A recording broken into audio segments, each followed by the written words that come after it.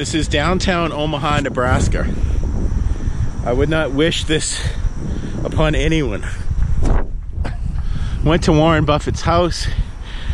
Tiny little ugly shack in the middle of nowhere.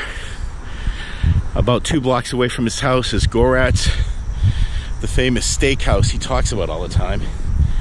It was a dump in the middle of a ghetto. Easy boy. Easy boy. Now we have the intrepid travelers who have founded Nebraska. I don't like them for staying here. But hey, here's where they are, and we'll let them rest at that. Union Pacific across the way, Omaha Press, the Omaha newspaper. Uh, this is 10 minutes to 9 on a workday. So this shows you the uh, rush hour they have. And that's about it for now.